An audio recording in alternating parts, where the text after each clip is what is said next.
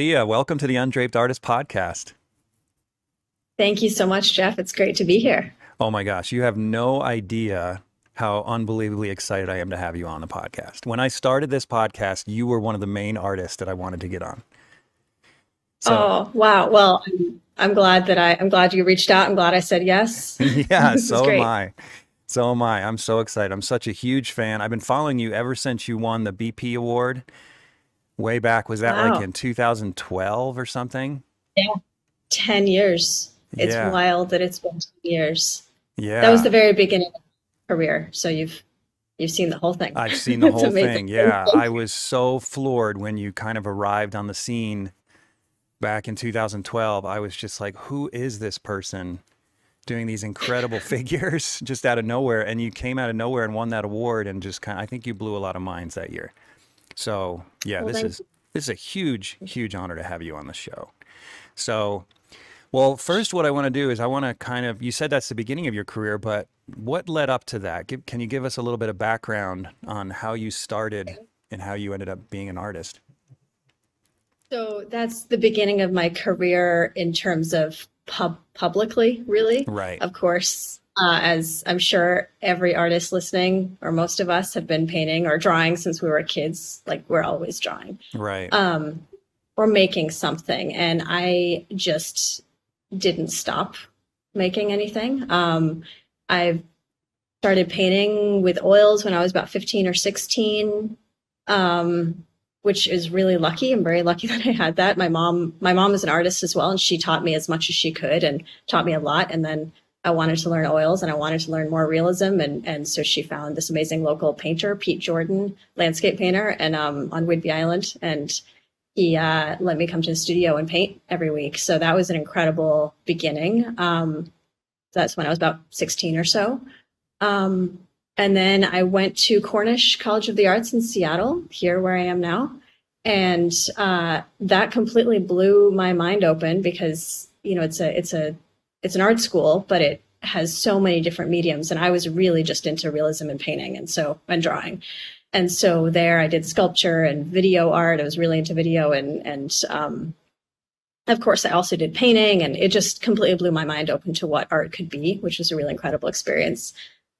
And then my junior year of college, I did a study abroad at the Glasgow School of Art because Jenny Saville went there. She's incredible.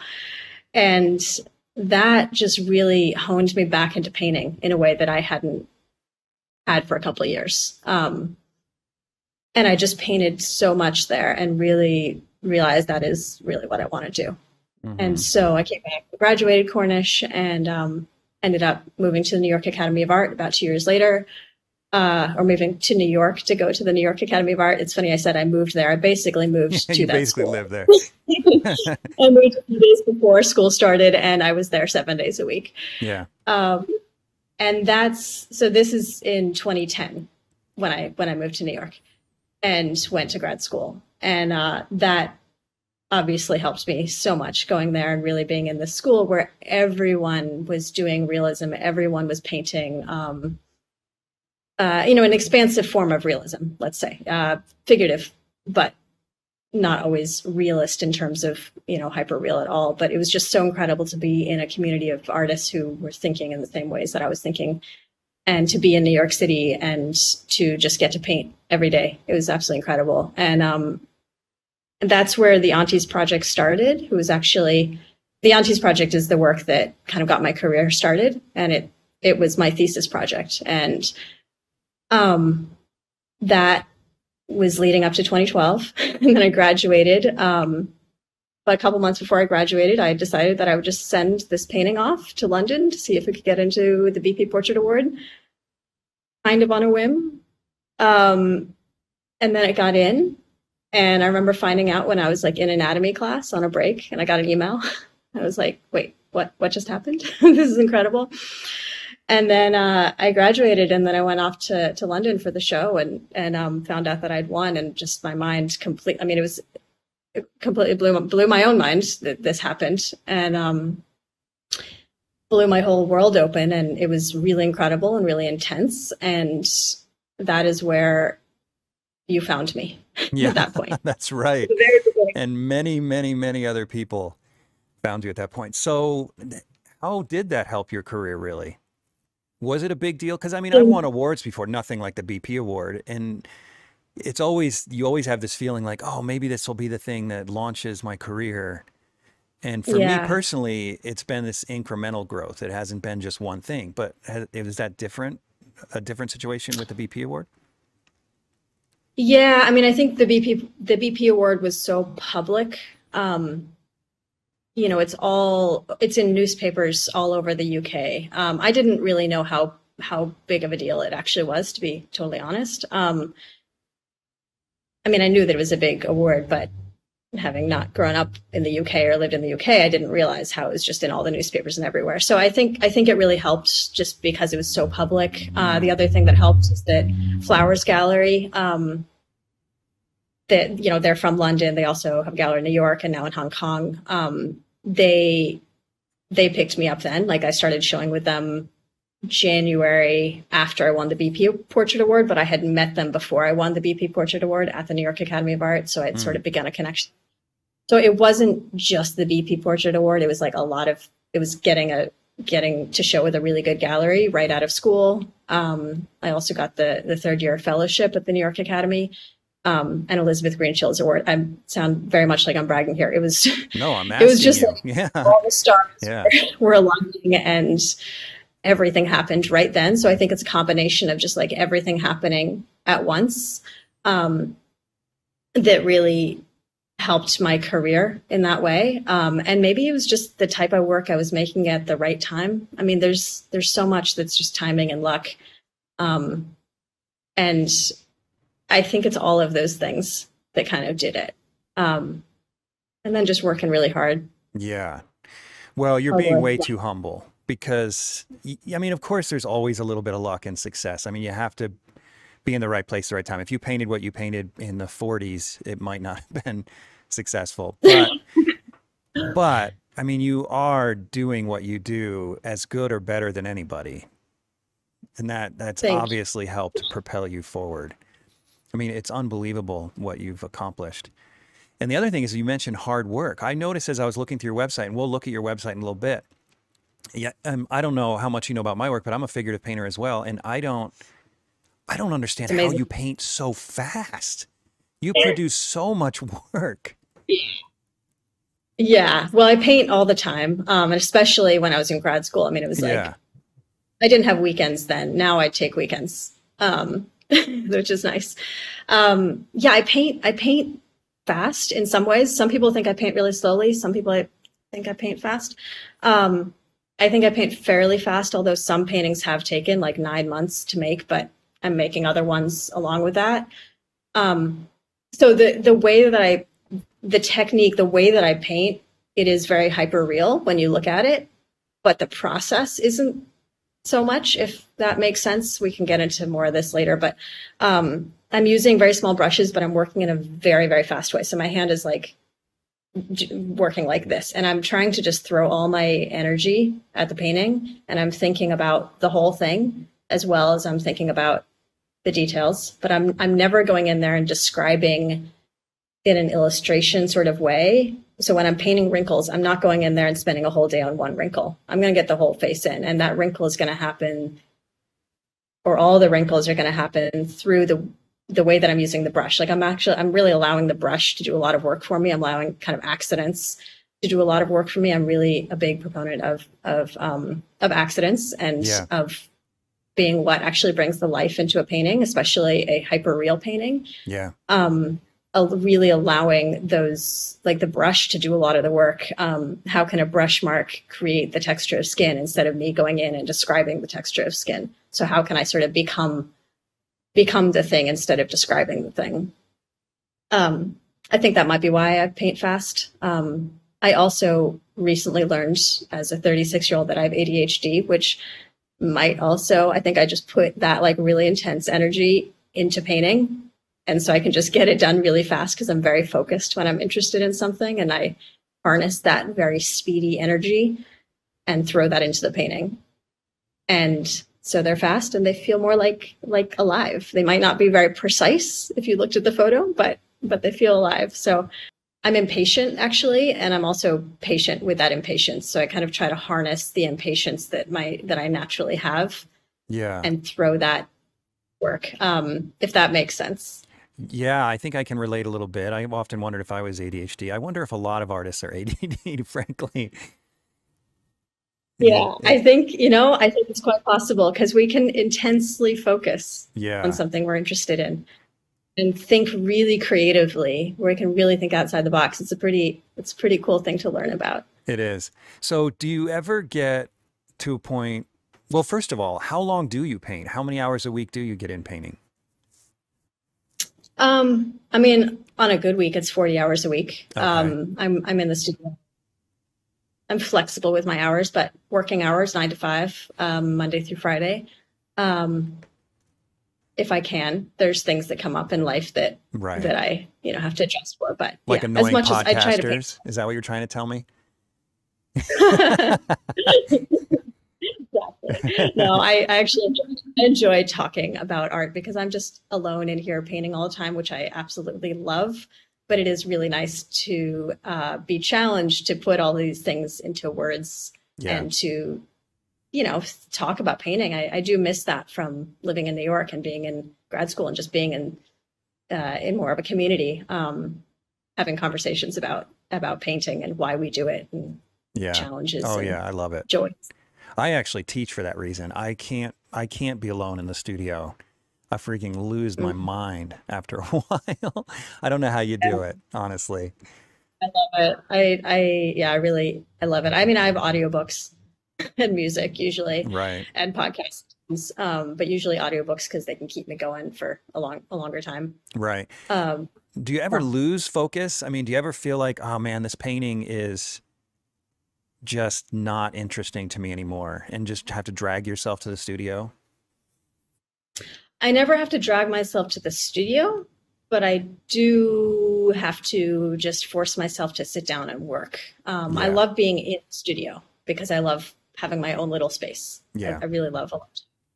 Um, but I, you know, there's times in paintings, especially with like the more realist paintings, that they're just, even though I love painting this way, I love painting realistically. Um, my work has changed a lot recently, but um, it takes like there are times when it's like this is really just I need to sit down and do this. This is my job. I'm I'm working, and so yeah, it's harder. It's definitely harder, but uh, good cup of coffee, good audiobook, good music, just focus. Um, and I usually, when I come to the studio, I will look at the painting and and feel what is most exciting for me, and then dive into that area. My paintings are really large, so there's different areas that I'm working on, and um, if you know, I'm I'm trying to make myself interested in it, and I Yeah. usually am. And when I'm not, well, it's it's my job. Like, how lucky am I that I get to do this as my job? So. Yeah. So you mentioned earlier that mo- your mom was an artist. Was she a professional artist? Yeah, she still is. Um, she a very different kind of artist. She um, uh, it's called touch drawing, and essentially, she it's this way of drawing with your hands over Really? paper that is on a surface, an inked surface, and then it comes up on the other side. It's kind of like a printmaking, but not really, and it's very intuitive. Um, and she's drawn all over the world and at conferences with like the Dalai Lama and What? and it's pretty amazing. Yeah, it's she's she's she's made an artistic path for her that is very unique and unlike anything else. And she teaches and workshops and um, sells books and cards and of like a, a, a deck of cards. Um, there, yeah, she's she's made a completely different world in art for herself. She went to Cooper Union in New York, so she, in the Yeah. seventies, which as a woman is pretty was pretty challenging. Um, wasn't very welcoming to to women, but uh, she has, she, yeah, she still does it. She's amazing. Wow. So you guys are like the Wyeth or the Peale family or something, just two generations of amazing. Oh, yeah, I mean, I, I've, I'm very, I feel really fortunate that I have an artist as a mom, and my dad is an architect and very, very visual and creative. And so, having parents that are creative, I got to see that that was a possibility, and I got the support, of course. Yeah. I know that a lot of people grow up without knowing that you can actually be an artist when you grow up, and that was like all I saw. And there were times when I didn't want to do it. I remember thinking, I don't, I don't want to do that. That looks like, that looks like hard work. You're always working. Yeah. but also, also, wow, like you get to do what you love. Like my parents aren't retiring because why, why retire from what, from doing what you love? Um, Mhm. they should probably slow down a little bit, but they love what they do. So, um, having yeah, having that as an example uh, for what is possible, I, I that has helped me in my career as well. Just having that support from a very young age. Did you feel confident from a young age that you could do this, that you could support yourself as a painter? Or did you just feel like I'm going to be an artist and I make what I make, I survive how I survive? A little bit of both. Really? Um, I was pretty blindly optimistic uh, that it would work out. And what I mean by that is I was, I, I remember moving to New York and going to grad school and being like, I'm just going to paint what I want to paint. I'm not going to pay attention to what sells because I have this incredible two years. If I need to be the be a barista the rest of my life, as long as I can paint, that's great.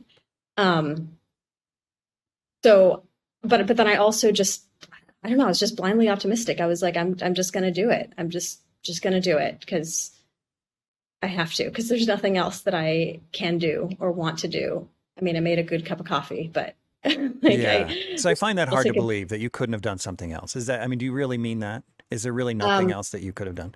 well, I'm sure I could have, but Right. I mean, since I was, uh, it, it- my earliest memories have been like, oh, I'm, I'm, this is what I do. I'm, I'm an artist, and I think, um, that's been great and also hard to think that I, I mean, to to have any other life. Um, not that I want another life, but I, I kind of grew up having this identity that I was good at making things look real. Like I was good at Mhm. realism even though you know looking at my kid drawings they're not that great but uh, you know for for a kid I, I sort of built my identity around that. And so in my recent work that we'll get to at some point i'm sure um, i've been breaking completely away from that like breaking out of that identity of being a realist painter and expanding into something else. And that has been difficult because i've built my identity on being someone who's good at making things look real. And um, I don't know. I, I just I just kind of knew that it was what I had to do. Blind optimism. That's really the only way I can describe it. Okay, so I want to figure out how to transition to your art then. It's a little bit early, but I think we'll get back into more personal stuff later. Um, so let's talk about that. You, so Yeah, here absolutely. is here is I believe this is 2012. Yeah, this is my thesis project. We're looking at my grad school project. Okay, so uh, and then uh, I just want to move. I'm just going to just to make the point to the viewers that are watching this. I'm just going to move directly to 2000, 2020, 21, Mm. which is freaking mind blowing. The change. It is yeah, mind blowing. But different. you know what hit me when you started doing this? Because as I said, I've been following you since you started. Um, I didn't think I could like your work more, and then you started doing this, and I was like, "You got to be kidding me! What? Oh, wow. How in the world did you get? Did your work get more interesting overnight?" And Thank so, you. and I and I, I don't want to just sound like I'm the podcast is all about just um, complimenting, you know, Aleah Chapin, but I mean it, that really is how I felt about it. But what you know, the thing that I thought at the time, and I still wonder, is how in the world did you, how in the world did you find it in yourself to go from something like 2012 all the way to 2019, which is very academic, very realistic, very naturalistic, to something Mhm. completely, well, not completely, but 70% non objective. Yeah. How did you Yeah. make that creative leap? That how did you make that shift seemingly effortlessly from looking at it from the outside? Well, that's the outside, uh, for sure. Um, I'm the I'm a type of artist who you probably maybe notice on Instagram. I don't post very often because I uh, I'm really just working kind of privately, and then I show it. So it looks effortless because you didn't see all the stuff that was happening before um, privately that I wasn't sharing with anyone. Um, how can I describe it? So I've always loved realism, and I still do. But I was coming to a point in 2019, and it was a couple of years coming, but really hit then, where I felt like I was painting myself into a bit of a corner. Um, part of it may have been that I had so much success immediately that I kind of felt this pressure that I needed to keep doing that. And maybe I don't maybe I'm a bit rebellious inside, but I was like, I, I don't want to keep doing that just because I'm expected to. Mm-hmm. Um, and I also can't paint something if I don't want to paint it. So I I knew that there was a change happening, and I didn't know what it was going to be. And at some point, winter, maybe like January 2020, I think. So, like before the pandemic, just before the pandemic, I started going to my studio and I had gessoed like a bunch of pieces of paper, like, you know, 30 pieces of paper. And I just took a brush, a big, big brush, and like a big, you know, uh, like a little Tupperware thing of paint, basically, of oil paint. And i with my non-dominant hand i just started doing these like really bad drawings in quotation marks bad drawings. I don't think that they're bad but i had i was just telling myself like make make bad stuff. Just get something out because i was feeling like i was getting to a point in realism where i was so tight and controlled that i couldn't breathe anymore.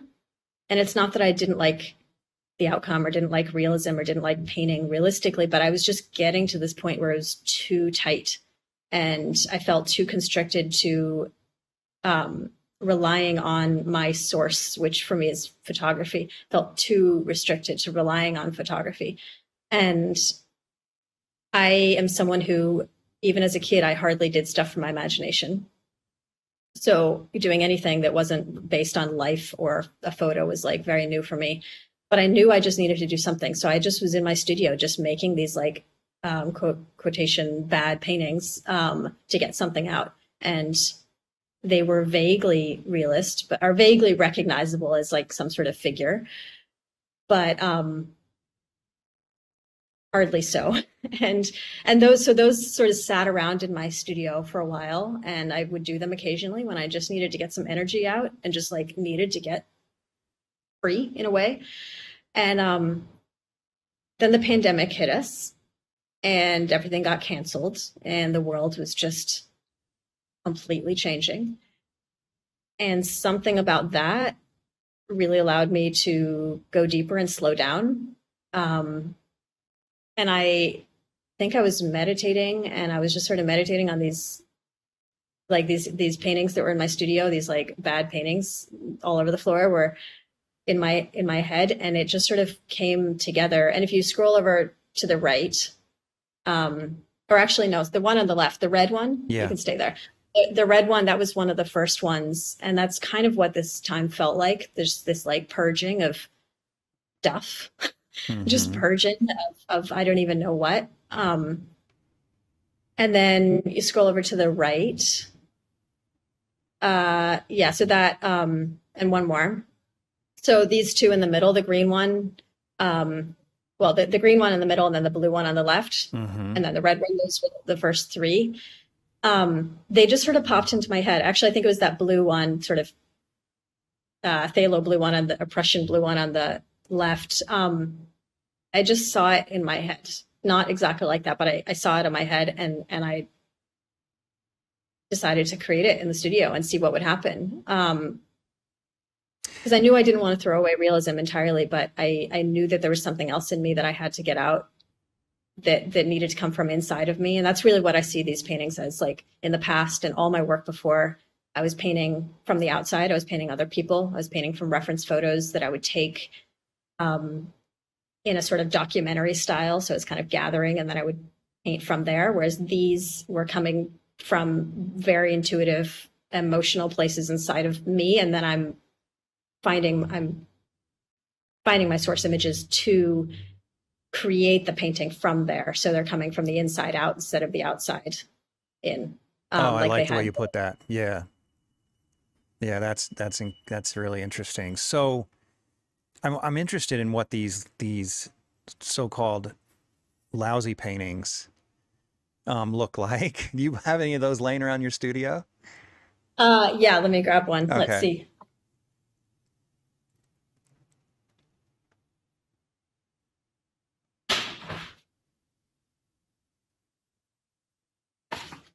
So it's not actually one of those originals, but it's the same sort of style. Right, right. Okay. Here. Yeah. Okay, you can see that. Even that's that's they look like. interesting though. So, okay. You know, a thought that I have, and you might disagree with this. I mean, I know this is sort of a, I don't know, maybe a contentious issue with some artists, but one of my pet peeves as a realist has always been how people have always said to justify Picasso's work that he was a master before he went into abstract and he was bored of realism. And I said that was a bunch of bunk. He he was the worst in his school, worst in his class. He struggled with realism and then he went in. With you, it's legit. Like you literally did master realism. And and you didn't just abandon it, but you somehow took it 10 steps further by by as you put it bringing yourself into it more um so it's really cool to see that actually happening you know some, you. someone who's mastered realism and what they what they do with it. So tell me a little bit more about the process. This is what i well tell me if i'm correct. This is what i think i'm seeing. So you do one of those drawings and mm-hmm. then you say that you had that this one on the on the right sorry the left kind of in your head. But was it in mm-hmm. your head because it was a product of all of that experimentation and then once you once you put all your time and energy into that experimentation with your non-dominant hand that it started to create this uh, sort of library of imagery in your mind that led to and evolved into these more complex compositions or was it like a dream like dali would have had Oh, uh, yeah, I would say that. I mean, I don't know what Dali's mind was like, but I would say that's probably what he was doing was is just a library. I mean, I think all all human beings we have a library of something in our heads. Most of us is images, but I do have a friend who actually can't see images. Um, which is fascinating. She's a poet. She's amazing. Hmm. Um, totally different podcast. Uh, so yeah sounds interesting though um, but I think, you know, it, we, for me, I, I always have, there's so many images in my head, but I, um, hadn't actually looked at them very much my entire art life because I was so used to looking outwards. And so something with, you know, me being, uh, well, COVID happening and then me getting, yeah, kind of bored of realism and feeling like I, there's something else I needed to do. Um, well maybe i'm I- asking oh go ahead Well, I just like closed my eyes and just watched the image. I just sort of watched it change. And then and then I'll tell you literally how I make these though. I'll get a bit more a little bit less woo woo and out there and, and a little more concrete. So how I actually make these is that so we'll just describe that le- that one on the left, the blue one on the left. Um uh, there was a drawing that looked kind of like that one that I just showed. hmm Um, and I, what I did was I went into the studio and I put my camera on a tripod and had it on a timer. And I put myself in the position as much as possible of that drawing, which is like anatomically impossible, right which is interesting. So then I try to get photos of myself in these poses. And then what I did, um, in Photoshop, I love Photoshop. I'm terrible at it, but I, I know the basics. I, I kind of put these two together. So I had a photo of my this bad painting, bad drawing. Um, I shouldn't call them bad. I really love them. Yeah, they're know, what I- very cool. And then I took uh, photos of myself and I put them together in a way that felt like it it it felt right, and it was sort of what I was seeing in my imagination. And then um, shifted the color around because I really wanted to expand my color. That was just part of it. Like, there's no way I'm going to stay with natural lighting. Like, oh my god, you can say so much with color. So hmm I just played around with it and then went into the painting. And the paintings start with um, I'm priming the canvas with the color that I'm going to use for the painting. And so then I'm going into the painting with a big brush and really loosely getting in this this gesture. And it's it's it's changing from the little tiny bad drawing, it's definitely changing. I'm not trying to make it exactly like that, but trying to get that same energy. So I'm laying that in there and then I'm building up around that. I'm building up the realism around it. I'm building up the the ground and the sky. Um, and then as I'm painting, things change. Like this is very different from the image I saw in my head when I first meditated on it, because that's just the the joy of creativity is just right. following the three. And so the sky was totally different than I thought it would be. Um, and uh, then the gra- the ground was. I just went into my backyard and took some photos of my feet, like in the weedy corner of my garden, and um, used those. So I'm, I'm just pulling together a lot of different photos, and then my imagination, and then coming in painting it. Um, so that's essentially how all of these paintings happened. Hmm. Does that make sense? Oh, absolutely. Yeah. So, uh, from one painter to another, one thing that I think I would have struggled with if I were you. And well, first of all, let me let me preface it by saying one thing that's beautiful about these three is your simplifying of the palette. You clearly are very good with designing color. And even like you say this in this uh, yellowish green painting on the right, you still have these beautiful variations in color, particularly in the skin, the face, the arms, and so on. But then it's like you'd be a great interior decorator. You have such beautiful des- color design sensitivity. But that said, that leads to, to, my question, and that is if we go back to your older paintings, um, let's, I'm just randomly going to go to 2013. One of the things I notice, and unfortunately you can't see too close. Actually, yeah, let's go back to 2011 because I think you can see this closer on one of your first paintings, like right here. Hmm this is one of the things I love about your work and that I can relate to because I see myself as sort of a, like a skin fanatic. I'm just so interested in all the color variation in skin. And yes. that's so always what I'm looking for. And that's what drew me to your work. You kind of had to let that go in your new work because you've got this beautiful, almost stippling of color, which makes it breathe. And yet, when mm-hmm. you go to um, when you go to your new work, Wait, did I go to the wrong page here? Let me see. Oh, that's the new work. Oh, that that's is the right. new work. Oh, you have your picture on the front. That threw me off. Okay. So, yeah. yeah, when you go to your new work, there's still color in it, but you kind of had to let go a little bit of that flesh. Yeah. What, what, what, what I'm interpreting is um, as being the same thing that I have this desire to really, really uh, flesh out flesh, you know, like really, really explore flesh. So was that a difficult? Am I, am I, reading too much into this, or was that something you had to work through when you moved into um, this new work? Well, I mean, I chose to do this because I wanted because I wanted to, and I actually I would say it's easier to see when they're in person. These paintings are so much better in person than of course they are. Yeah. Um, but I actually don't feel like I had to let that go. I just had oh. to change it. So in in so if you if you saw them in person, um, so you still have all that variation in color, say in this blue leg it's right very, here. I mean, it's very condensed. So it's maybe not quite as much, but it's it's a very condensed. So what I'm doing in here, and part of the, I mean the reason why I chose to do each of these paintings in a different color was because I really wanted to experience what it was like to work in different colors, right? In in different color, uh, kind of color chapter, and and see how much I could find in there. So you know, warms and cools. Oh my God, they're amazing. And getting right. to play with those, I absolutely love them. So, what happens when you're trying to find warms and cools within blue in a really subtle way? Mm-hmm. It challenges you. So, my palette is definitely limited, but I'm still finding warms and cools. There's still reds in that. There's still um, yellows in that. They're just very condensed and. Oh my gosh, that sounds really hard.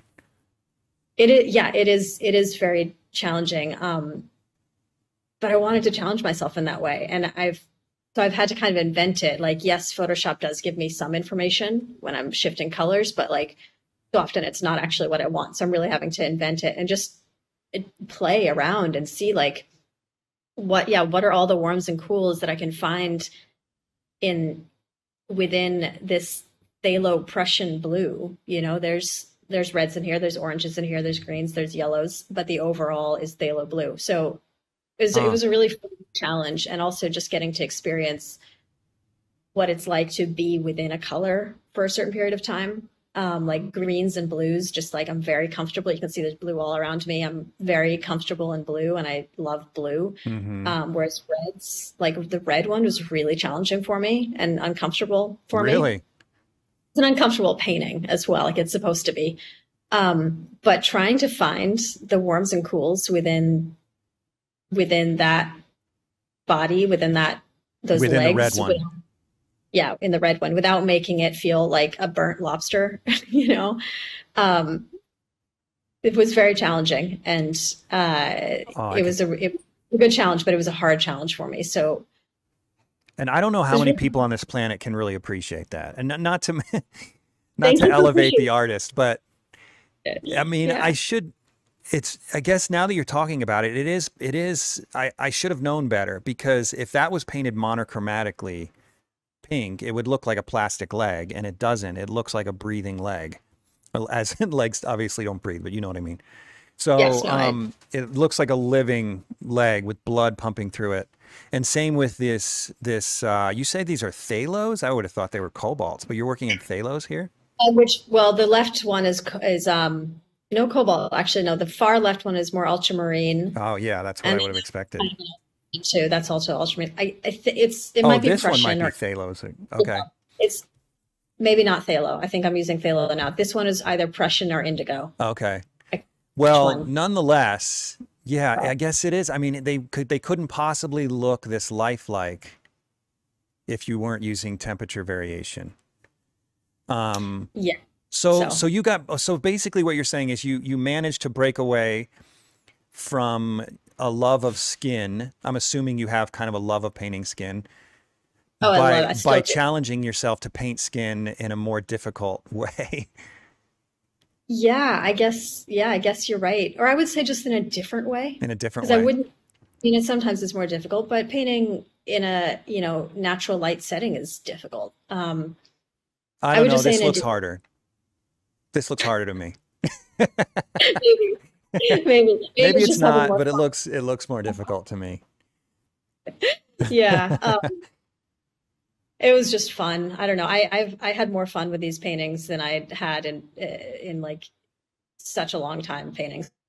So So what about what about from a business needed to have fun. perspective? Um, oh yeah. what what were you just scared out of your mind on how these would be received? Because you're already a, a rock star. I mean, this is obviously you don't have to see yourself that way, but many of us do in the painting world. And then you just completely start writing a whole new style of music, so to speak. You know, were were you nervous Yeah. about how it would be received?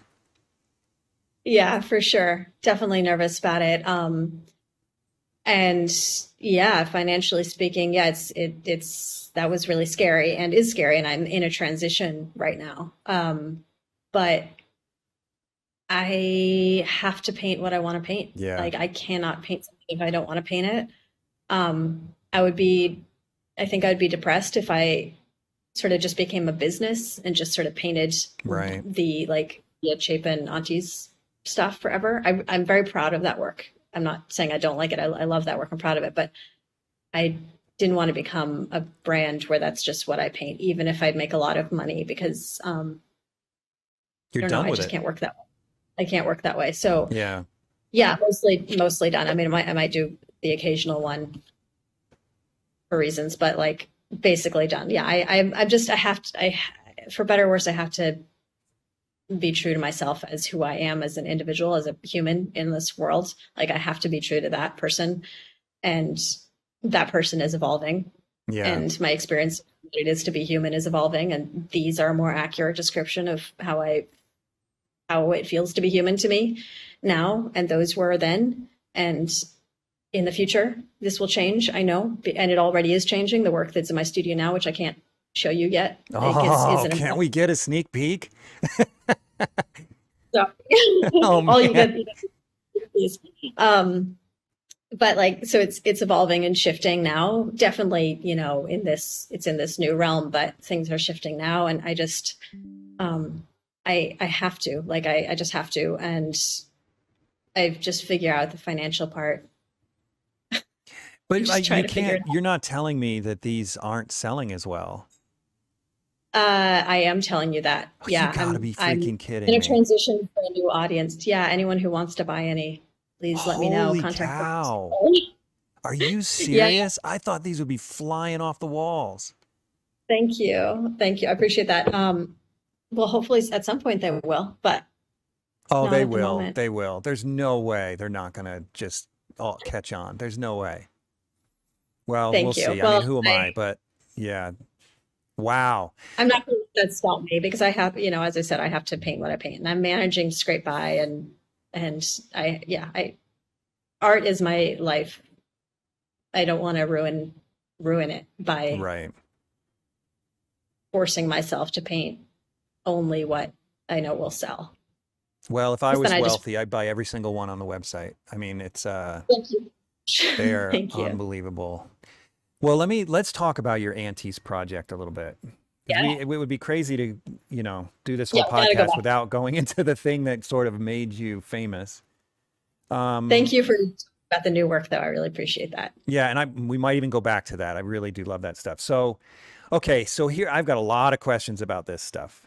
Yeah, So, as an art teacher, I cannot get a middle-aged woman as a model in my studio for my students. That's surprising. And you had you've got like an army of them. What I mean, how Yeah. in the world did you how do you get people to pose for these paintings? Uh, well, the ones we're looking at now, some of them are my friends, like my childhood. Um, well, And some of them aren't middle-aged. These are younger women, of Yeah, course. my, yeah, they're my friends. Um, I mean, they're my mom and her friends. Like these aren't models; they're my aunties. That's why they're called the aunties. They're they're they're my aunties. So, um, meaning they're women in my life who I've been really close with, uh, who have known me since I was. Some of them like were in the room when I was born.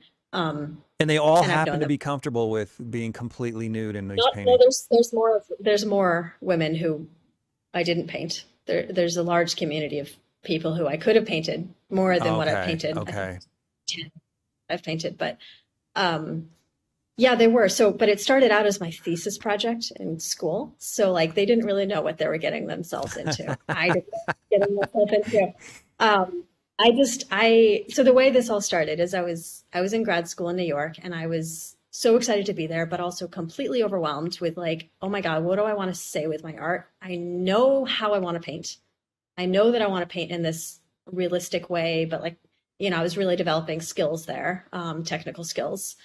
Um, but I was really at a loss for what I wanted to paint. Like, what what, what could I say that hadn't been said? What could I say that um, would be interesting? What could I say that felt true to me? Like, I, I really struggled with that. Mhm. Um, because a lot of the art that I saw in in New York was like either uh, kind of overly sentimental and sort of about nothing, and that I wasn't interested in that, or it was like really you know minimal and abstract and and just had zero meaning or emotion whatsoever. And so like none of these, or there was like really negative, you know, uh, angsty art that also didn't feel like me. And I was like, I don't, what do I paint? And I was at, I was at a bit of a crisis. I was really struggling. Um, and you know how crises go they kind of break you open and they're important and what i was left with was like well the body i've always loved painting the body and um i uh, I, I have an autoimmune disease. I've had it since i was 13 so like I, my relationship with my body is like i've had a complex relationship with it. Um and i also knew that i just wanted to paint what i knew. Like that's the only thing i could do is just paint what i know. And i think i think a, a teacher there told me that um, Wade Schuman. I think he, I think he's the one who's like, Aleah, just stop trying to save the world with your art, which I was trying to do, make big, meaningful paintings. Never worked. Felt control. And uh, he was just like, paint what you know, paint what you know. And so I Hmm. did. I was just like, I'm gonna, I'm gonna ask the aunties if if they wouldn't mind posing for me, and I will just start there. So it was And just so a I- portrait. These are just nude portraits. You're interested in the figure. You these are people you care about. They're they're nothing more than a portrait at this point. Yeah, go back to the 2011. That'll be more, see those more. Um, yeah, I mean, I didn't really think of them necessarily as portraits. Because, well, I guess those two are portraits, but um, Well, portraits of a body. Yeah. I mean, what I'm saying is they're not conceptual pieces at this point in your exactly. career. Yeah. I mean, like, yeah, I wasn't, I wasn't trying to say something with these like huge and meaningful. Yeah. Um, because whenever I tried to do that, they, the paintings felt contrived because they were too obvious. Um, I was really just trying to capture what I knew and what I had seen growing up. Not that I grew up in a nudist colony; they weren't naked. Right. but um, you know, these women are incredible, unusual, uh, unique, wild ladies, and um, to me, that was totally normal growing up to have these types of people around. And but when I went out into the world, I realized that's not, you know, that's not normal. Um, but it's what I know. And so I just, yeah, really just wanted to paint what I know. Literally, it was just how can I go back to my roots? I know that I want to paint the body. I don't want to just paint another uh, model in a pose, um, a young, pretty female model in a pose. Um, I really wanted to get at something more honest, I think, more real. Mhm, mhm. Um, I think probably unconsciously, I also, as like a woman growing up in this world, really wanted to see stuff that I hadn't ever seen that maybe I needed to see. Um, but I wasn't thinking about that consciously. I wasn't. I was definitely wasn't thinking about trying to like break out beauty standards at Right. this point. Um, I know that I know that the work does that, but it was really just me wanting to go back to my roots and paint what I know and um, really explore painting skin and the body. Mhm. So that's where it Wow. And did it ever evolve into more conceptual pieces? Yeah, I think over time it began to. So, can you show us some of that where you feel like uh, it started to get more conceptual? Maybe just go. I- You know, I don't know how well how well I know the years. Go to 2013. To go to any anything, anything in the Let's try middle. We'll, we'll, we'll 2014. talk about some. Let's see what happens in 2014. Oh, this is a yeah. I'm glad we're talking about 2014 because this I mean, is a yeah, great. I would, thank you. This yeah, I'd say so so incredible, and it's and It's- yeah, it's one of my 10 favorites. feet long. Yeah, it's big. It's a big one. See, this Um, is this goes back to my original question. How in the world do you have so much work? I don't even. I mean, that one took me four months. That's still fast. I know. I I I don't know. It's the way that I paint. But I. Wow. um, if you look up close, there's a lot of brush marks. Like Yeah. you know, it's, they're not super tight, um, even though they very much look like it from here. Yeah. I would say this is more conceptual, but not overtly so. Like Mhm. what I'm what I was try- trying to do with all these all these paintings was not. I'd never had an idea beforehand of what I wanted to paint, and then go in there and say, "Okay, guys, let's pose, let's pose like this," because then that's inserting too much of my kind of uh, mind conceptual self into them. And I'd really learned that when I tried to work from my mind um, and concept and thinking and thoughts, the paintings always felt contrived. Whereas if I worked more from my intuition and my gut and sort of like this sense in my body, um, the paintings were better. So what I did with these the photo shoots I would do is just get the aunties together in in a field in the woods somewhere in the property of one of them, and um, would just take photos. It was a couple hours of me just really documenting them playing and being strange. And I would guide them a little bit sometimes, but I really tried to just create space for them to do whatever they wanted. And then from there, I would look through the hundreds of photos and find one that kind of called to me. And sometimes I'd have to use a couple um, different ones. Mostly, though, it's just one photo, and then I'm totally changing the backgrounds. I'm inventing those mostly. Um, so this one is more conceptual, but it comes it's it's conceptual more from a discovery place Mhm. discovery from the outside world still, but still a discovery versus coming from my mind and then being illustrated out in the world. Right. Um, if that makes sense. It does. So they're they You're were just letting the concept kind of uh, create itself in a way. yeah yeah, and I'm just like the midwife for it, I guess. I mean, Yeah. I'm just guiding and helping it into the world and trying to stay out of its way because if I got in its way too much, then again, it would feel contrived. It would feel overly controlled. Um, Hmm. I was really just trying to get out of its way.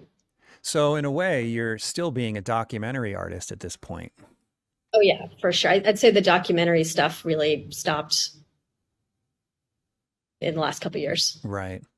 Right. Otherwise, it was it was definitely more of yeah documentary, discovering stories and you know Mhm. concepts. But yeah, through more of a documentary sense. Yeah. So, I mean, it's amazing to me how these women, how playful they are. I mean, particularly in the first one. And Yeah. actually, actually, both the first two, these two here.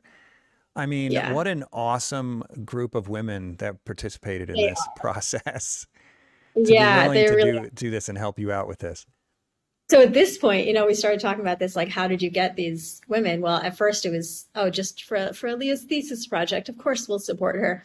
And then it was like, oh my God, this is going to be public. Like, uh, I grew up in a small town of a thousand people. Like everyone knows everyone. So, And all know, these women are part of that town?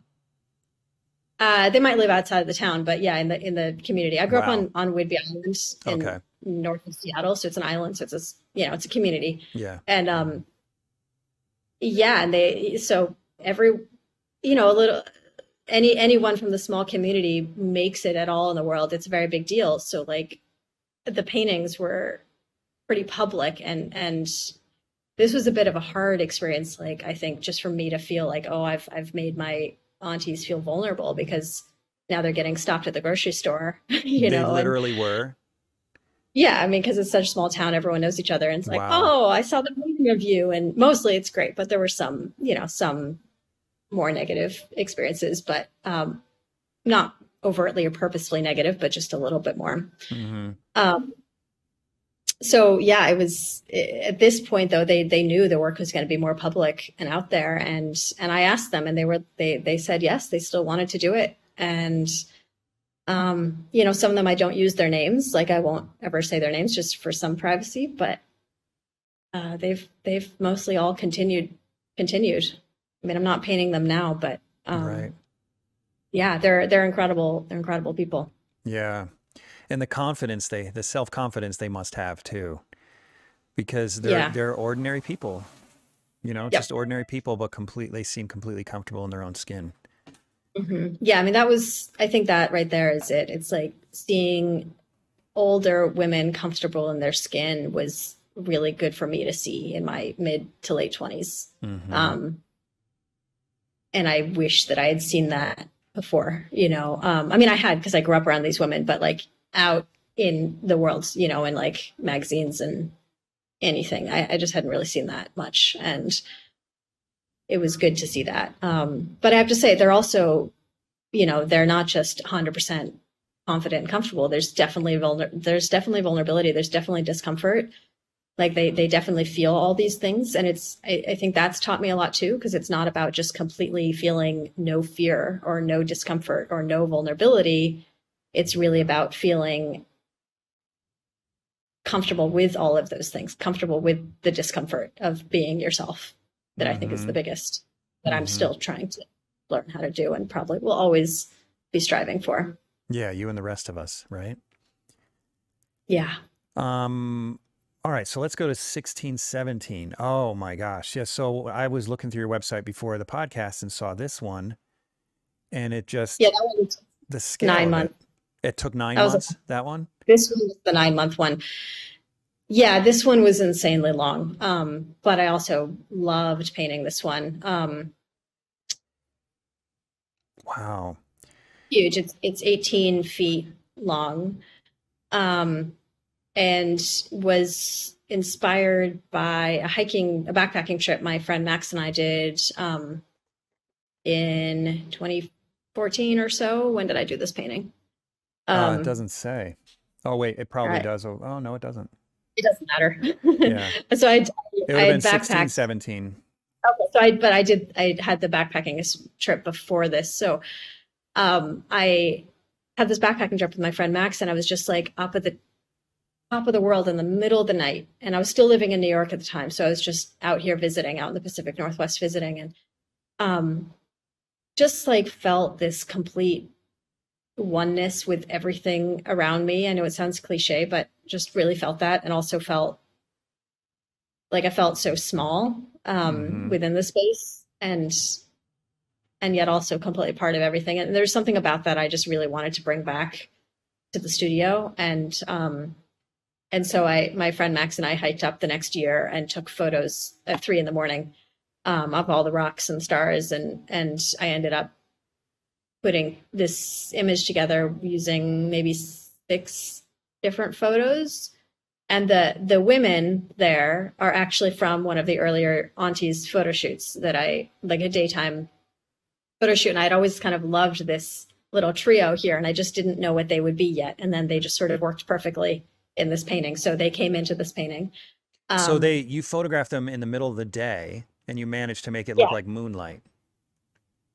Yeah, just um, cooling temperatures, and and then you know playing with it, it using paint too. Yeah. You know, it's not all in Photoshop. Photoshop kind of gets me in the direction, and then I have to you know think about like well what is this light what's the temperature of this light and is this is this working mm-hmm. in the mm-hmm. scene and, um and also the thing is like you can get away with a lot like this wouldn't actually look like this no, at night but but it's convincing but it gets, nonetheless yeah yeah like i've learned a lot about about that or really realize that it's not you don't need to get it super perfect and accurate and what it actually would be it's you can get it pretty close and it will be convincing um, and then it also gives it this other kind of magic of like, this is convincing and yet it's not, you know, mm-hmm. there's this mm-hmm. sort of other thing. So I, again, just embracing those accidents, embracing the fact that I am not going to, you know, drag these women up to the top of the mountain, really insane, intense hike and have them pose naked at three in the morning. I, I couldn't get good photos anyways.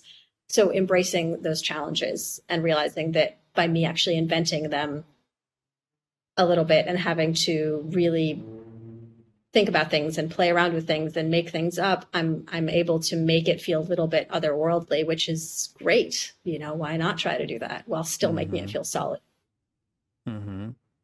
Was there a, a time in your eh, you know throughout your artistic journey where you realized that you didn't need to be so literal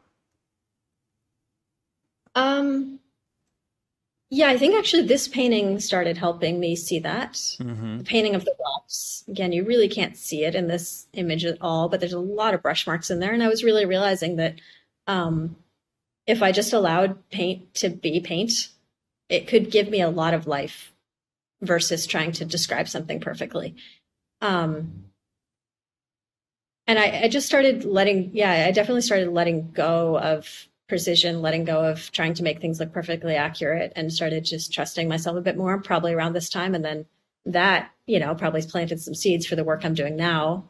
Um, I imagine. I mean, just think about that now. But the more I found comfort in painting in this way, the more I was able to kind of let go mm-hmm. and trust myself more. And then now it's just the ultimate form of letting go and trusting myself. Um, yeah. And I think that's that's just the journey of being an artist is you you do learn to trust yourself. And I think the trick is to not get stuck in that trust. Right. That you're not interested anymore. At least for me. Mm-hmm.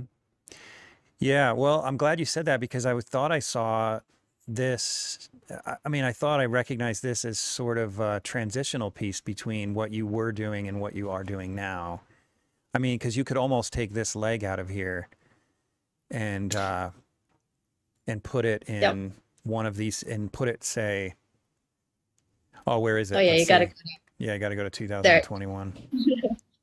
um, yeah, and you could stick yeah. it right in one of these paintings right in here, as far like right here. So I think I actually, I think you're totally right. Like I was starting to play with, like when I was trying to make things kind of nighttime and dusk, they were yeah. getting more blue, and I, how much I loved that. Yeah. And so with these, I was just, well, let me go all the way. Like let me go like more punchy color like let me really just punch this this color why does it need to be realistic isn't it interesting you know, how art evolves that way in our minds yeah yeah and it's interesting to look back like i hadn't really thought about that piece as being this connected to this new work but you're you're totally right it really it really was a big connection so thank you for pointing that out hmm.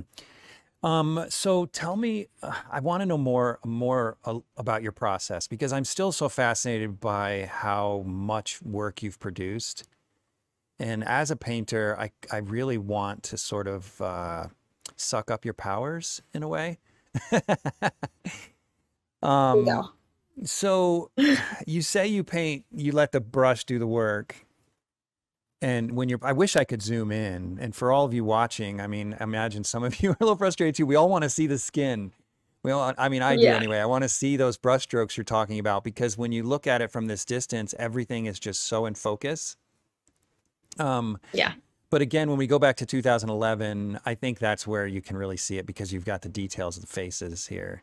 Yeah. And my assumption you- is that the skin everywhere looks like that. What's that? Here, click- on one of those images. It should get a little bigger, not too much bigger. No, it doesn't. It doesn't? No, Oh, it's funny. It should open. I don't know why it doesn't. Yeah, it's weird. That's okay. But uh, anyway, I think we can get the idea with these portraits. And I know these are some of your earlier work, but my assumption is that that's still at least kind of how you approach painting. Yeah, it is, although the work got tighter, kind of unintentionally. Oh, did. unintentionally. It did, yeah. I, I like the the aliveness in this earlier work, um, and it's just my pursuit of realism. Like I've been obsessed with realism my whole life, and that pursuit got me a little too too far. Kind of went over overboard, got a little too tight um, Hmm. for my own liking in terms of the act of painting. I like how they turned out, but the act of painting, like I just want them to be a little bit more more loose. Um, And are you painting in are you painting in layers? I mean, tell tell me from day to day how you approach. it. Let's say you've got a let's I'm going to pick a painting here, okay?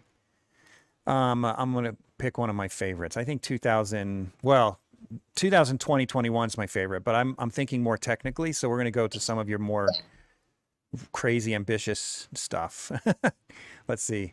Oh. Um 2005 2015. No, that's not the year. Let me see. It's all amazing. So don't take this the wrong way. I just want to go to some of the stuff where it was like, okay, here we go. So that's pretty ambitious. 100 inches.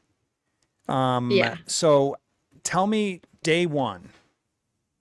I Yeah, mean, how so do day you one. how do you approach something like this from day one to day? I mean, obviously you're not going to go through every day, but just break it down into maybe four or five steps on how you approach I can this. break it down. So Yeah. After I create, are we talking about just painting, not the no, reference painting and process. Yeah, So the reference image too. sure. I mean, So whatever like you're for this, comfortable with. no, I'll, sh- I'm comfortable sharing whatever. I just don't want to bore you guys. Um, so with this one in particular, um, I had taken photos of of the aunties outside, and they were in. They were they were doing this. Right. And so I um, basically chose the photo out of hundreds of photos and in Photoshop kind of took the background out and sort of invented my own background, did it really badly in Photoshop so I'd get a basic idea. And then what I'm doing is I, I stretch my canvas um, and which is enormous. This one particular is a bit too large, I think. Um, and the first day, I'm just getting the underpainting in. So I'm using Sennelier brown pink, which is actually yellow. Like all those earlier paintings, you saw the sort of bit of yellow splotches in the background. That's Sennelier brown pink. Yeah. brown why do pink they call that brown pink? Not to get off. It's so weird. no idea. Yeah. I have no idea, but I love that color for my Mhm. underpainting. So I, I'm basically roughing in the whole thing with that color. And how I'm doing that is I have my little laptop and I've gridded it out in Photoshop, maybe Mhm. like one foot squares. And then I'm grading out my painting into like one foot squares and getting those proportions right. Um, and then I'm just laying in the whole the whole thing in paint. And I'm I'm using the the grid I'm doing in in paint as well, and I'm wiping out the grid as soon as I can because I don't want to be painting in a grid. It's really just And to these get are the basic big grids. It's just to manage this huge canvas. It's just to manage exactly. It's just Yeah. to manage the huge scale of it, so I can make sure that like everything is in basically the right place. Right. Um, because I don't want to project because that just isn't right for me at all, and and there isn't really any other way to do it when they're this big. Right. Um, and so then I'm wiping it out because I hate to paint within any sort of structure. Right. And um, and then I'm just diving right in with color. And I'm using full palette after. So this is like that underpainting has dried. So is the and it's just underpainting pretty really, refined? I mean, are you getting likenesses in the underpainting, or are you just getting general proportions? I'm getting I'm getting it pretty close, but I'm not being I'm not being too crazy accurate, but I'm definitely trying to get it fairly close, like as close as possible. But I'm doing probably this whole underpainting in a day or two. Um, Okay. For for one this large. Um, so I'm getting that as accurate as I, as I can, but I'm not worrying too much about like value. Definitely not worrying about value. Worrying Right. more about drawing. Where is this? You know, is this curve of the back feel right? Um, and once that's in, I let that dry, and then I'm going right in with just my full palette of colors. Um, and then I'm laying this all in and I'm I'm I'm being pretty quick about it, but I'm using fairly small brushes, not as small as I'll use at the end, but maybe like this big. Like three that? quarter inch or something. Yeah, probably that. Um, and trying to get it more accurate in terms of the drawing every time. And then I'm layering every every like I let it dry, and then I come in with another so you'll layer. do the whole painting, and so you'll start. You start with this yellow color, Yeah. uh, and then uh, you do the whole painting, and you get all of your violets and purples and blues and whatnot in, Yep. and and refine the I get it drawing a little bit. But it's still Mm, rough, yep. and then you come back in with another layer.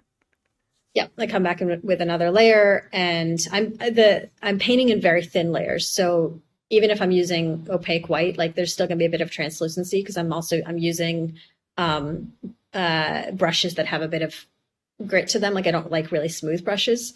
Um, so I'm allowing uh, a lot of the light from the underpainting to come through. And essentially, the process is that I'm I'm weaving layers together. Like that's how I think of it. It's weaving layers together. So uh, I'll do, you know, underpainting, first layer of color, and then the next layer of color. What I'm actually doing is kind of doing a a tinted oiling out or a glaze, I guess, but not really.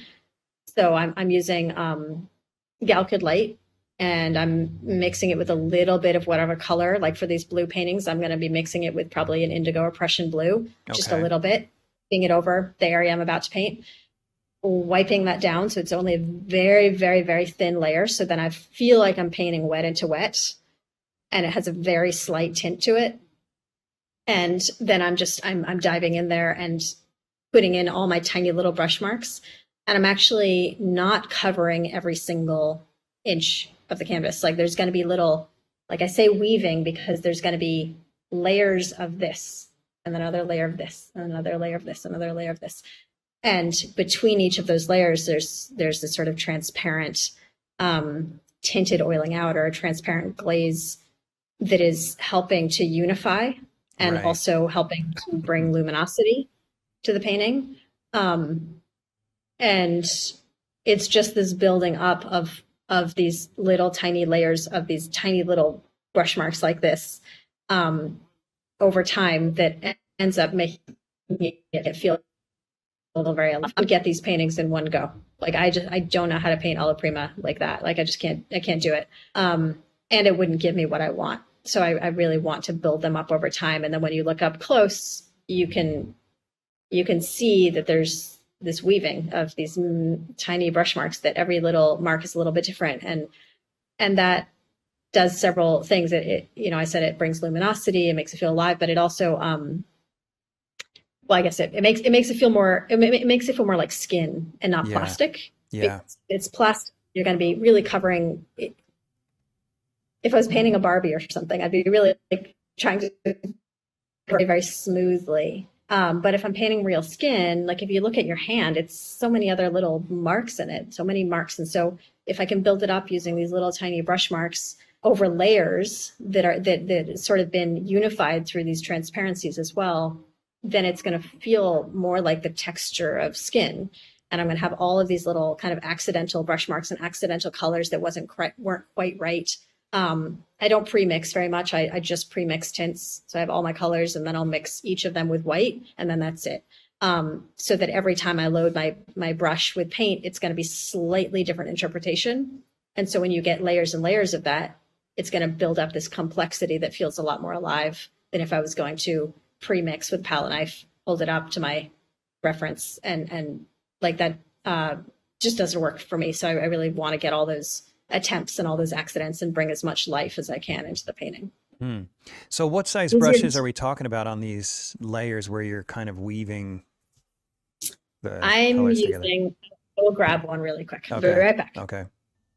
Okay, so it is, Oh, that's not These- small. Oh, yeah, they are small. You're holding them really close to the camera.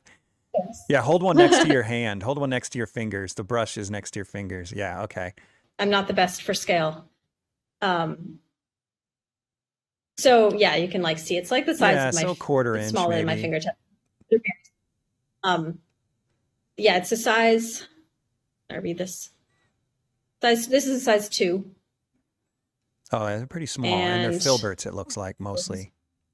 Yeah, so I use filberts, mostly filberts, sometimes rounds, but mostly filberts. Um, size size zero zero to uh, what would be the biggest? Oh, you're using really small ones, zero zero sometimes. Well, no, but zero zero that would be for like if I'm painting an eye or like a toenail or something, Right, or some right. hair, Or when I'm hair. painting. Yeah. I'm not putting those in the skin. Skin is probably going to be a size size two to one one to two Okay. for skin.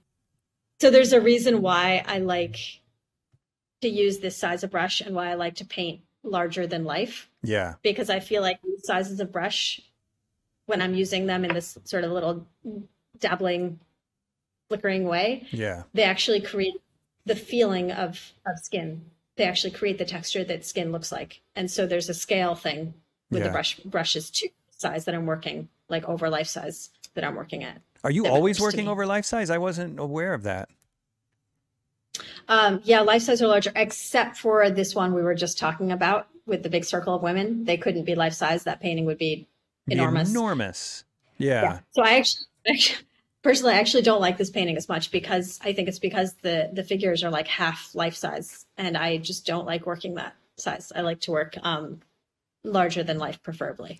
Yeah, now that makes sense because you've got this portrait right here, Deborah, that's 20 by 30. That's so her mom. head is at least, oh, that's your mom. That's awesome.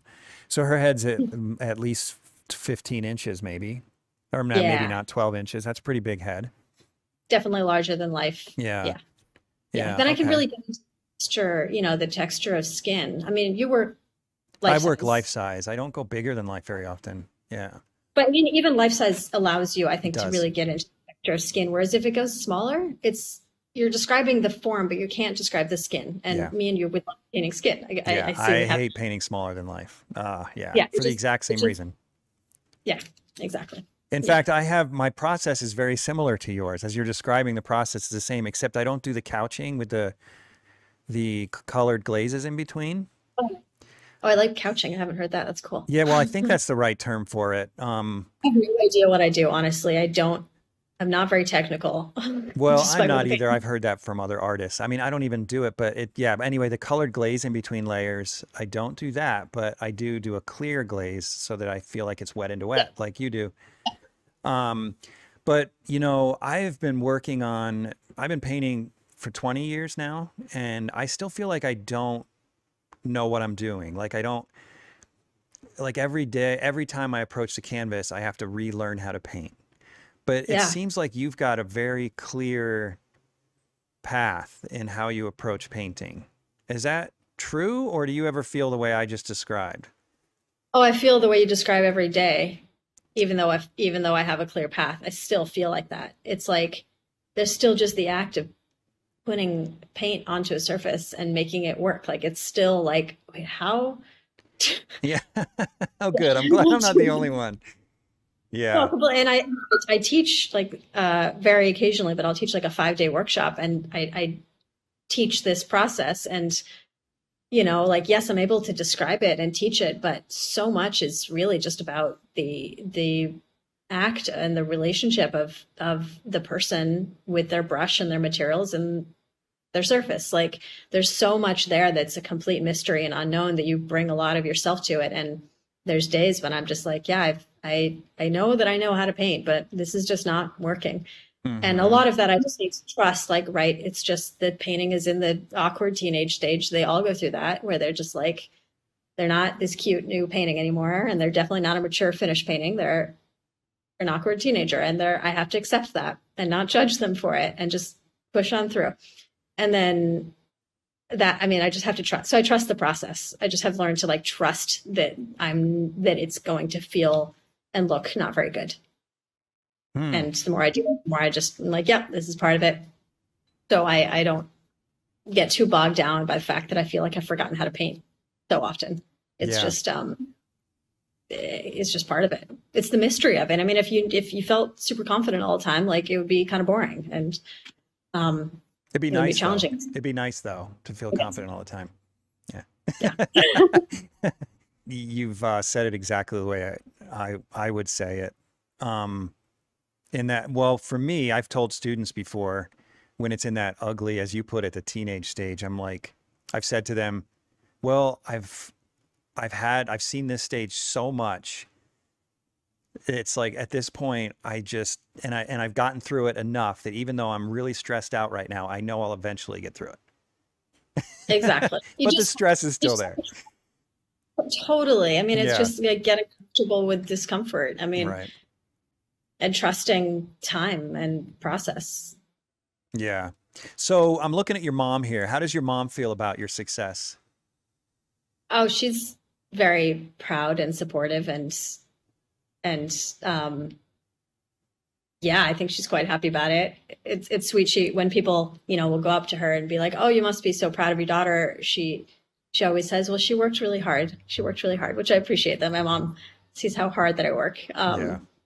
and she, you know, she she understands because she's an artist as well. We've we've gone different paths because um, you know, she was in New York and grew up there and, and left New York and I chose to go back there and made a career there. So we've had different career paths, but um my new work is like much more related to the type of work she does. So I I I uh I think we're like I'm understanding her and her work a lot more now that I make my work differently because she works very completely intuitively, um, figurative often, but like completely intuitively and from her imagination. She wouldn't say imagination though, but intuition. And um, that's how I'm working now. So I feel like we actually are coming more close and we get each other more now. I get her more now um, than I did. But yeah, it's it's great to have an artist mom. We can, you know, go to museums and talk art and yeah, it's really nice. Yeah, I bet. So I, well, I'm curious about how you became so passionate about realism when your mother wasn't particularly passionate about realism when you were a child. How did you go down that road? Probably because she wasn't. You know, I think it was like I want to make my own way. Mm, Um, you know, like kids, we we kind of find out who we are by separating from our parents a, a bit, and um, I think that's part of it. I mean, I was obsessed with realism. Like, this is embarrassing, but I, my mom, amazing mom, would take me to museums. She took me to Picasso show, probably at the Met when I was a kid, because we'd go visit her parents and our fam- her family in New York every year, and I was so lucky to get to do that. And um, I, uh, she's told me, and I don't really remember this, but I just turned my back on Picasso. It's just I was just so angry, so well, angry. based on my last statement about Picasso, you know I'm not going to judge you for it. Um, but I was just so angry. Like there was just to me such a magic in like Rembrandt, who was Yeah. in the other. It's like why is Picasso getting this recognition and Rembrandt? Uh, well, Rembrandt was too, but um, you know, I was just obsessed with this kind of realism because it was just it was magic. It was magical, and that's the only way I can describe it. It was magic, and and also, you know, it was different from what my mom did, and I really wanted to separate myself and be my own person. And as much as I admire her, and um, yeah, and and now I actually totally respect Picasso. I might not like all his paintings, but I totally respect him and and get it. I get it now, which is like a bit disconcerting to go from one extreme to the other. But uh, I just have to go with go with the flow, I guess. yeah, you'll have to explain it to me when we're done with the podcast. I'm still not convinced. oh, I, I still don't know if I fully understand, but um, I, but for me, it's never about understanding intellectually. It's Right. about like How you feel, Like, right. I, I feel something when I look at that now, and Yeah. before I, I, I felt something. I just felt like anger, which was probably hey, they say, yeah, modernists say that's a good feeling in art. So, Yeah. um, Yeah. well, so speaking of modernism, I'm back on your your new work. Do you think you'll ever completely abandon realism? Do you think that's even a possibility? I mean, everything is a possibility, but um, I don't know what would make me do that because I I it's such a core of who I am that I would feel like I was totally abandoning myself if I did. But knowing how much I've changed, who knows? But that's not at all my intention. Right. Um, for me, finding a language that is just that. Um, sorry, we're going to pause really quick. Can you hear that music? No, Is it loud? I can't Okay, hear great. anything. Yeah. There's um, there's some wonderful homeless people who are right outside my studio often, and they play music. So um, no, I can't hear it. it was too loud. Good. Um, so for me, finding this language that can describe my experience of living in the world includes realism and intuitive abstraction. I don't, it's not totally abstract, but it includes these two things. So the way that I see that is like the realism to me is, is, um, kind of speaks to the solidity of the world that we can see Mhm. and uh, the solidity of the world that I can understand intellectually with my mind. But my experience of being alive as I get older uh, is that there's much more to the world than that. There's a lot more to the world than what I can just see and what I can understand. And so this other work to me speaks speaks to those things that I can't intellect- intellectually understand. It speaks to my body.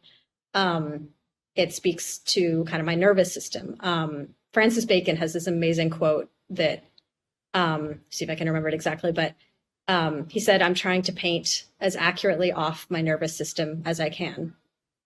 And I think that that's kind of what I'm trying to do now is Mhm. paint from the system versus my mind. And so these, the, the, the combining of realism and more of a loose intuitive abstraction to me describes that and, and, and kind of not just I guess it describes that, but it, it not just describes it. Um, it kind of embodies that feeling, and and makes it visual, which is what I, you know, I'm a visual person trying to put things into visual form, and and these speak to that. So if I was gonna if I was gonna try to paint these paintings here purely realistically, they wouldn't actually portray what I'm trying to portray. They wouldn't portray a feeling so much. They would be more of a description, and um, but I feel like I need both. I really need both. Like if because because they both are part of my experience of what it is to be alive. Like I I feel in a physical body. I'm in my I'm in my body. I can see the world. I, I love the physical world, and uh, as I said, as I get older, I just know that there's so much more to the world than we can see. And so, how can I portray that through paint and still have it be visual? See Mhm. it, but portray that in a way that your body kind of feels it. Like you get a you get a like hit on your body. Maybe not everyone, but you know, like um, kind of hits you in a, in a different way. Yeah. I don't know if that makes sense. I think I'm so. getting I think it does. Yeah. But you know, a thought that has come to mind throughout our conversation is you've said several times that you feel like your identity is wrapped up in realism, I- and it has been since you were a child. And then you described your process uh, previous to 2020, 2021 as being as like a, or maybe I described it this way, but you agreed as being kind of a documentarian and and looking and you said looking outward and Yep. and recording what you're seeing outside of yourself and now your new work is sort of uh, going from the inside out and doing what's inward so to me the inward sounds more like your personal identity right and yet Yeah. and yet you see yourself intellectually as a realist so there's well, almost not, a- any, not not that's anymore. really that's really interesting. I don't anymore because because I'm doing this kind of work now. okay So I've had So you don't have that I've- identity anymore. Now you, you you've sort of escaped that identity that you've been carrying since you're a child. Yeah, exactly. I'm I'm breaking out of that identity, and I've it's felt incredible to to break out of that identity. Um, because it didn't necessarily feel like an an identity that I discovered on my own. Mm, Um, it felt like one that I was told because I have direct memories of being in like preschool and kindergarten with friends friends saying, "Aleah, draw something for us. You're so good at drawing." Um, and so it became my identity. It be, because Oh, you know we yeah. all want to be told what we're good at. We all want to, you know. I really like I'm a people pleaser. I really wanted to like please people around me, and so I sort of built up this identity of like, oh, people like me if I do this, and it's not that I didn't like doing it. I did, but I think a lot of it was that I I uh, was told that I was good at it, and that feels good. And so I built up this identity that wasn't maybe actually totally accurate to me. And so over the last couple years, realizing and really discovering and then breaking out of that to discover really what is my own identity, like what is my own shape if I'm looking more inward. And I think that's why COVID was helpful for me because everything broke apart. All these external boundaries broke apart.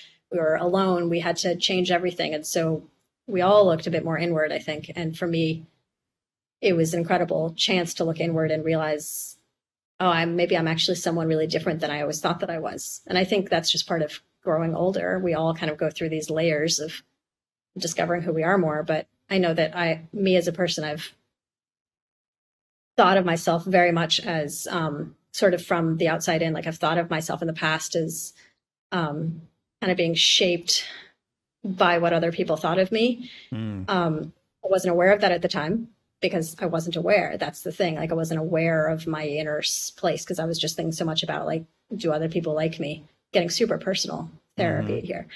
Um, It's called the undraped artist. So you're getting exactly. mostly undraped for me here.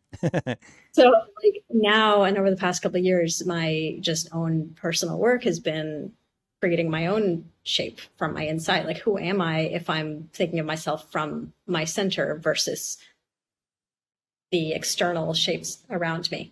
Um, and so part of that was breaking the shell that I had built my whole identity on. I had to break that shell. And it's not that that shell is completely unnecessary. Like, I, or not me at all. Like, realism is absolutely part of me. Like, I have loved it since before anyone told me I was good at it. But I am way more than just that. And so these paintings are me trying to find a language that can describe, maybe not describe, I don't think I like the word describe, that can like embody um, and become out in the world an external representation of who I feel I am on the inside. Yeah, that's, yeah. I, I'm really glad, glad you shared that. To me, it almost sounds like, and I think probably most of us, if not all of us, go through a similar thing, but it's like when you were young, all of your friends, family, whoever were you were you might have been red, yellow, and blue, but everyone was noticing your blue. Yeah. Right. And so yeah. you were like, oh, well, then let me work on the blue. Oh, that's that's my thing because that's what everyone notices. And it's only now that the yellow and red's coming out. Exactly. Yeah. yeah that's exactly it. Yeah. yeah. And it's, you know, it's a hard process. It's a challenging process to like look at yourself that way because sometimes you see things you don't you know you don't love but you know sometimes you th- see things that aren't stereotypically beautiful. And that's i think why when i was making these paintings i really wanted to embrace that sort of awkwardness. Like i would use my non-dominant hand. I was trying to make them ugly. I was trying to make them bad you know because i wanted to like embrace like what if it's not perfect? You mm-hmm. know i've mm-hmm. definitely been a perfectionist my whole life. Like what if it isn't my idea of perfect? What if perfect actually is something else? Um, what if there's a perfection in awkwardness and discomfort and um, there totally is. I mean it's absolutely beautiful and and so exciting to me to to find to find that. And it's um really hard to put into words. Yeah. Well to me when i'm looking at these paintings it's almost like you've discovered the perfection in nature in a more abs well abstract's probably the wrong word. Um, in a conceptual way i don't i'm not sure the right word but you know how you walk into the woods and it's all this chaos just leaves all different colors and just you know every it's just absolute chaos and somehow there's beauty in the chaos because of the harmony in the chaos and so yeah. and in your work yeah, technically it's not like the it's not like when you're drawing with your less dominant hand, you're technically genius, right? Mm-hmm. but what you've done is you've done sort of what nature does. You've found the harmony and you've created perfection in the imperfection, as you put it. Yeah. At least I yeah, see it as that way. It's just so beautiful yeah. that the the the uh, in unpredictability, the chaos, the but yet you somehow organize that into this harmonious set of shapes and colors and forms and textures. Yeah. It's so much fun. I have to say it is so much fun because when I'm in the studio, I'm actually having to make these like creative decisions that aren't based off of anything. Whereas in the past, it's like making creative decisions based off of like, well, does this look real? You know, yeah. which I, you know, and you're like bound, you're like stuck in that cage almost, yeah. right? Well, it can be a cage. For me, it had become a cage, but yeah. it also doesn't. It can be a horizon. It for, can be. it was a, a long time, and it I think is that for for pure realists. Totally respect and love that. But for me, it became a bit of a cage, and so like now getting to be in the studio and make decisions based off of just sitting there and being like, does that brush mark feel right? that completely non-objectively it's just all feeling there's no bound there's no rules boundaries no rules and that's scary it's so scary to, to be like there are no rules and no boundaries so oh my god what if this is terrible you know what if i have and that i had a lot of a lot of that those fears in the beginning like i have no idea what i'm doing. Like i have confidence in realism. I don't have confidence in this kind of painting. You know everyone thinks it's just so easy but like it's not. To to try to get a brush mark that feels just the right balance of awkward and elegant and it's just describe I mean, there are no rules there's no rules. Um, and yet there is there is a rightness. There's a wholeness that i will hit upon and and it's but it's it's kind of like i'm swimming in the dark or, or or walking in the dark. It's like i'm i don't really know what i'm looking for until i see it. And and that's why it's so much fun because it's just like a constant discovery. And um, accidents in a much bigger scale will happen and then i'll be like oops i didn't mean to do that but wow that's really cool now that's going to lead me in this whole other direction in this painting that i didn't think it would go and um, really just trying to kind of walk into you know paint but walk in the creative path in in in one where i'm not it's not planned like i don't it's really not as planned. I'm planning a little bit, but much less. Much less. The new work is even less than the work we're seeing right now on the website. Um, less planned, and it's oh, really man, I'm challenging. Dying to see that. I can't wait. I can't um, wait. Thank you. I'm excited to to share it when when it's time. Yeah. Um, yeah, it's it's just it's it's a lot of fun. I'm I'm I'm like discovering creativity in a way that I hadn't felt since I was a kid, I think. Um, not to say I didn't have fun painting before I did, but it was a different, it was a totally different kind of thing. And this is entirely new and really rewarding. You know, I, have had a couple thoughts again while you're talking. So, one analogy that I've often um, given my students, you know, who are trying to find themselves and or more people who are deciding what they want to do with their career and what they want to do with their education, particularly, is I've given the analogy of a poet that has a, like a 200 word vocabulary. I mean, how much can a poet with a 200 word vocabulary actually say? And at some point, they have to just learn a language so that they have yeah. the vocabulary to actually be expressive, right? And yeah. when I look at these paintings, you clearly have a huge vocabulary. And that's the reason, to me, they're different than other abstract work and I'm not mm-hmm. saying other abstract work isn't good. There's a lot of great abstract work, but there's something about yours, the, the high vocabulary that you have in this these paintings. You've got because you're not just completely letting go. No. Like you're not because you know another thing that I've I, I've always defined art as good craftsmanship, good design, and a good idea, right? And a lot of abstract work abandons either craftsmanship or an idea, and and yeah. you've still got you've still got some really, really nice craftsmanship in here.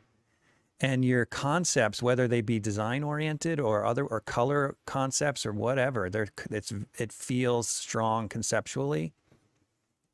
Um, I mean, so anyway, not yeah, to keep on uh, keep on just pounding you with compliments, but I do appreciate it for the new work, especially especially coming from from you. I was actually a little nervous to get on your podcast because I was like, oh, he's such a realist. Like, what is he going to think about this new work? I'm I was surprised that you asked me actually. oh, really? New- no. See, honestly, I mean, my older work you're probably not familiar with, but I did the reverse of what you did. So oh, I used to combine abstract and realism back early in my career. And then Oh, at some point, I took a two and a half year sabbatical and I went completely classical. And then, so I used to, I mean, I was nowhere near as good as you are when I was doing abstract and realism together. And it was completely different. But I've always had a huge, I mean, I'm super drawn to this concept of bringing realism and abstract together. Um, Mhm. It's just at some point I, I did the opposite. I'm like, I need to really flesh out realism. But Totally. um, I've actually been sort of craving going back in that direction again. Um, I'm not sure Well, how, what that'll look like. Yeah. Yeah, you won't know until you do it. I I mean, I think that's I- it's just so interesting to see like how artists change. Um, I know Vincent Desiderio was an abstract painter first, and then he became a realist painter, and I always found that fascinating and probably the reason why he's so good Yeah. he does. Yeah. I didn't know that either. Wow. Yeah. Yeah. So Yeah. who knows? But no, I, I, you're one of my favorite painters and I'm, I'm really grateful to have you on the, on the podcast. Thank you So, so much. I got one more question for you and then I'll let you go. I think we're well over two hours probably. So I apologize for taking all your time. But I always ask everyone this um, as a successful painter, what advice would you give those who are aspiring to become painters? Mm. Good question. Um, I I think I would I would give the advice that you should listen to all advice, Okay, that's But- good. but notice what resonates with you. Notice how you feel when you listen to the advice. Um, there's some advice that that you're going to hear and you're going to be like, no, nope, not for me, and trust that. Don't just think that the person who's telling you because they're, um, you know, more further along in their career, or they're a teacher, or whatever is is right. Like art is such a personal thing that I think you need to you need to you need to stay true to who you are and essentially take so what i mean by like take all the advice notice how it feels in your body in yourself however however you process information and and notice what resonates and take that and let go of everything else just let it go so yeah take take take everything and only only what resonates for you That's great advice. That's great. it helped it helped me because otherwise um you will get over like i got overwhelmed like people are saying so many different things. I don't know who i am what it what i don't know what to do. Now i'm hearing all these different things and i don't know what to do. And if you don't have a strong sense of who you are and you only build that up through uh sensing into yourself every time you get feedback um if you don't build that that core like you won't make it out in the world because the world is um full of opinions and you need to know what you can take you really do need to stay open absolutely but also like what you should just let go of um, and it really it really helped me and still does help me as i'm changing my work and um, i still something i will never let go of so say that's my that's my piece of advice That's perfect. I appreciate that. Hey, Aleah, it was so great talking to you. I'm like I said, I'm seriously starstruck having you on the podcast. It's uh, it's amazing to talk to you, and thank you very much for taking the time. Thank you so much, Jeff. This has been such a fascinating conversation, one of the best. And thank you for uh, really diving into all the work and seeing the connections of it and appreciating the new stuff. Again, thank you so much. Uh, this is this has been really really wonderful for me. Thank you. Thanks for tuning in to the Undraped Artist Podcast. If you enjoyed it, subscribe. And if you could, leave a comment or review. That really helps the channel. Please share the show with your friends, and if you're feeling generous, consider a monthly donation at theundrapedartist.com. Thanks again for watching. We'll see you next week.